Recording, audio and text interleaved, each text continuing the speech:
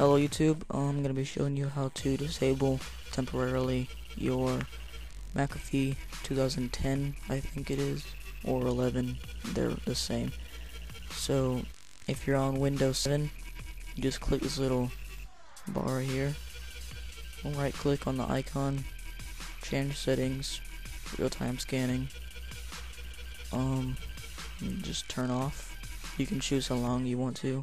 I'm just gonna leave it on 15 minutes turn off. And that's how you do it for Windows 7 I'm gonna turn it back on. Um and if you're on Windows Vista you can just start it up right there. It's not gonna work for me because I'm on Windows 7 but if you're on Vista it'll appear right here in the little I think it's called taskbar.